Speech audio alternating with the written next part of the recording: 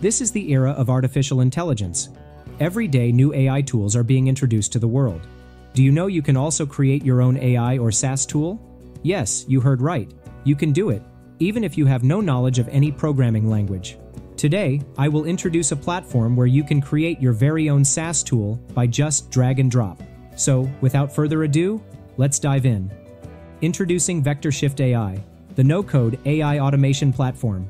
It's an integrated framework of no-code, low-code, and out-of-the-box generative AI solutions to build AI search engines, assistants, chatbots, and automation. You can integrate platforms like Google Drive, OneDrive, Salesforce, HubSpot, Notion, or Airtable. Use large language models like OpenAI, Anthropic, Hugging Face, Google, Llama, AWS, Mistral AI, and more. Now let's see how we can create an automation or SaaS tool with VectorShift AI. I will put the link to VectorShift AI in the description. Just head over there and create your account. Once you are logged in, your interface will look like this. Here you can see my previously created pipeline. If it's your first time, then your interface will be like this. Alright, let's create a new one. For example, I want to create a tool to generate blog posts with related images. To do that, we first have to create a new pipeline. Now you will find various template pipelines for different use cases. For example, if you want to create a chatbot to collect leads, you can select this template and then customize the data. I will create my pipeline from scratch. So, come back and click on Create Pipeline from Scratch. This is the pipeline editor page. Now first of all, we need the input. Just drag and drop at least one output from the General Node tab. Once the input node is added, we have to customize it. As I am going to create a blog article generator, I am typing the main keyword. Next, set the input type. I am selecting text. Okay, we have the input, now add the output node. After entering the output node, we have to connect them. Simply drag the input to the output to connect them. Now let's try the tool. Simply click on the Run button from here. This is the input box, and here you will find the output. For testing purposes, I am entering some random words in the input box.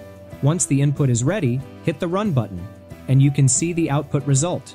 It's the same as our input because we didn't add any knowledge data or any large language model. Now I will do that. Remove the connection between the input and output node, and then come to the LLMs tab. Here you will find all the renowned LLMs, including OpenAI, Google, Llama, Perplexity, and Amazon AWS. This time, I am choosing OpenAI. Here you will notice two options, System and Prompt. The system is for your custom instruction, and the prompt is for input data. For example, I am entering an instruction. Imagine you are a blog or article writer. I will give you the main keyword, and you will write the full article for me. This time I won't enter anything in the prompt section.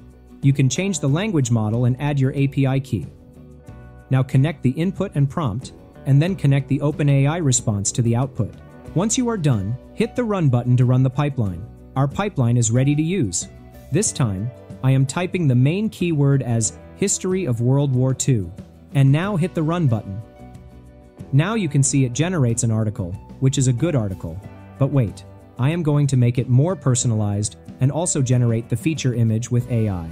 To do that, we need to add some more inputs. So, I am adding three more inputs.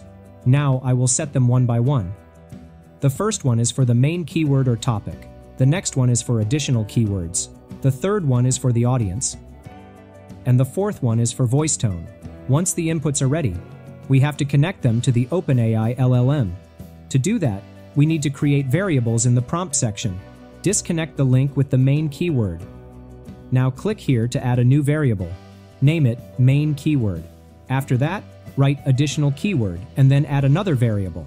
Rename this variable additional keyword. In this way, add a name and variable for audience and voice tone. Now we need to customize the system prompt. I already wrote a system prompt on a notepad and I am pasting it here. Don't worry, I will put it in the description box. Okay, next, connect all the input to the related variable one by one.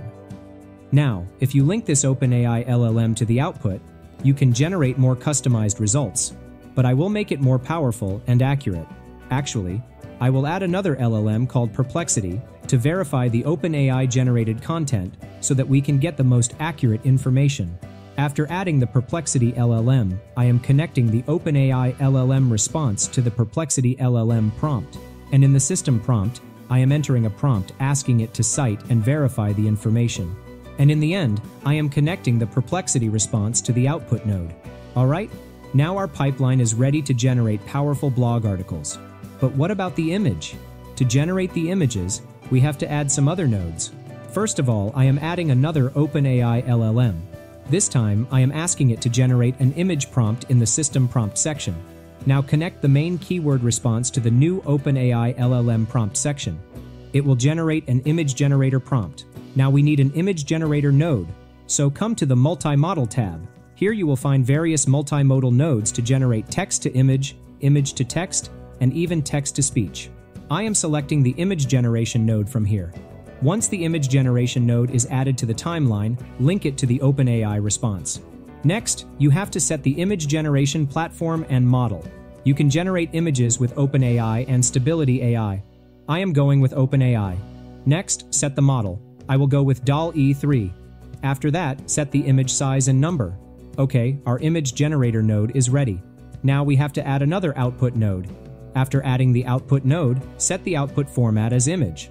Now link the image generation node response with output 2. Alright, our pipeline is now fully ready. Let's try it.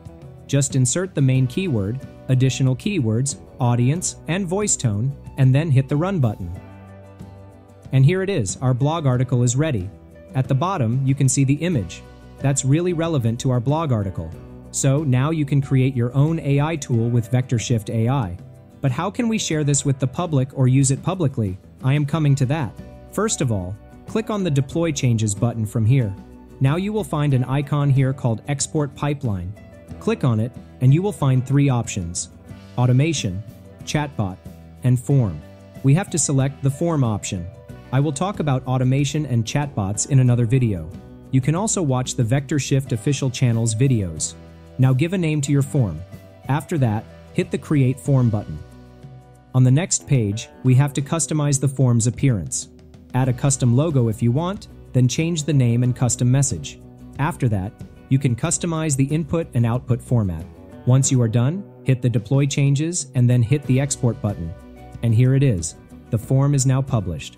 You can copy the URL and share it with your friends. I will go with the second option, share form iframe. Just copy this code and then publish it on your website. For tutorial purposes, I will publish it on a blog post web page. I am pasting the HTML code on a blog page. Now hit the publish button and view the page. You can see this is our very own blog post generator AI tool. Now enter the required data to generate the post. Once everything is set, hit the generate button. And here it is. The blog post is ready. That's really amazing. And at the bottom, you can see the image. It's just awesome. I love it. So now you can create your own AI tool without any coding knowledge. VectorShift AI can be more capable than you might think. You can do so much with this amazing platform. If you want to know more, tell me in the comments section and I will make more videos on VectorShift. And yes, don't forget to try it yourself. Link in the description. Alright friends, I will wrap up our video now. Before that, I would love to hear your opinion about VectorShift AI. Share your thoughts and results in the comments section below.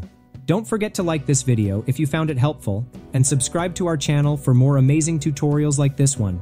Thank you so much for watching, and until next time, happy creating.